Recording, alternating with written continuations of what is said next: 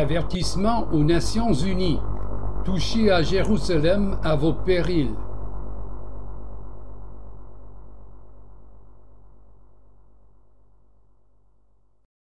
Dans le sixième siècle avant notre ère, à Jérusalem, le prophète Zacharie prévit comment, dans la fin des jours, les Nations unies chercheraient à internationaliser la ville, provoquant ainsi l'Éternel à y intervenir. Durant plus de 1800 ans, il n'était pas possible que ces prévisions se réalisent, car l'Israël n'était plus Cependant, depuis 1948, ces prévisions ont commencé à s'accomplir, ce qui laisse croire que les restes se réalisent dans un proche avenir.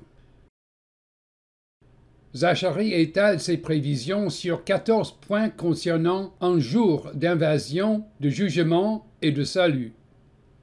La parole de l'Éternel concernant Israël, Jérusalem, Juda, et tous les peuples d'alentour. Premier point. Les Nations unies conspireront avec les peuples avoisinants pour assiéger Jérusalem. Je ferai de Jérusalem une pierre lourde à soulever, pour toutes les nations. Tous ceux qui voudront la soulever, s'écorcheront cruellement. Cependant, tous les peuples de la terre se réuniront contre elle. 2 le gouvernement national acceptera comme une tâche divine de venir au secours de Jérusalem. Les chefs de Juda diront en leur cœur, Je vais renforcer le courage des habitants de Jérusalem par l'Éternel. 3. L'Éternel donnera la victoire sur leurs assaillants. Ils dévoreront, à droite, à gauche, toutes les nations environnantes mais Jérusalem continuera à être solidement assise dans Jérusalem. 4. Les habitants de Jérusalem se feront veillants. Le plus vacillant parmi eux sera comme David, et ceux de la maison de David, comme des êtres divins. 5. Les habitants de Jérusalem regretteront la mort de leurs ennemis je m'appliquerai à détruire toutes les nations venues contre Jérusalem. Ils porteront les regards vers moi, à cause de celui qui aura été percé de leur cou. 6.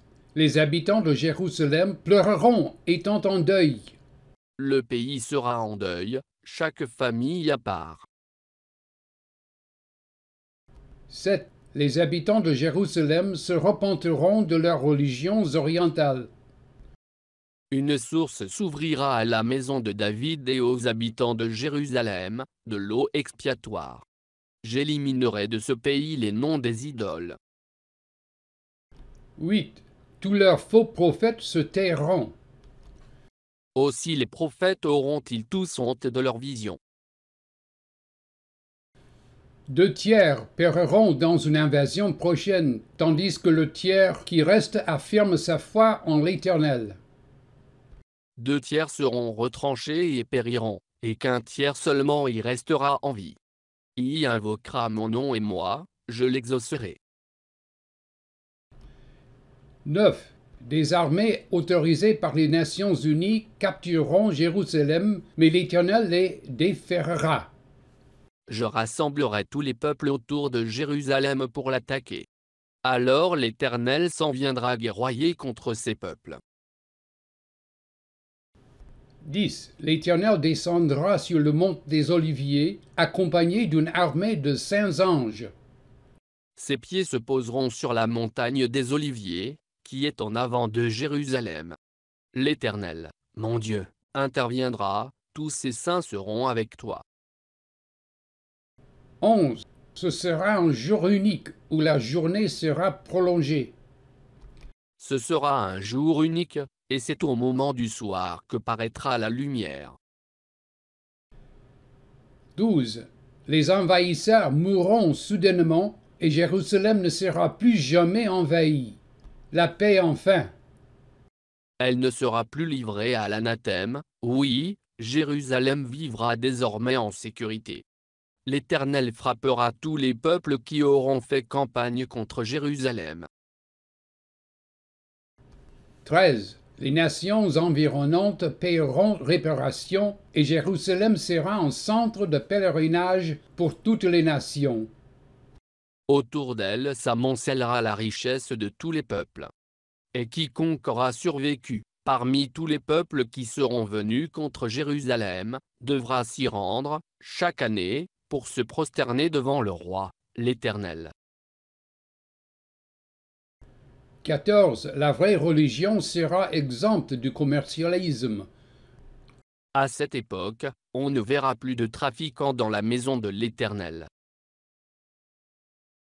Cette vidéo ne propose aucune prévision, elle ne sert que d'avertissement. Quoique Satan, le Dieu de ce monde, cherche à provoquer la fin des jours avant le temps décrété, l'Éternel, le roi de l'univers, fait preuve de patience en attendant que tous entendent la bonne nouvelle qui annonce la prochaine venue de son loin, le Messie.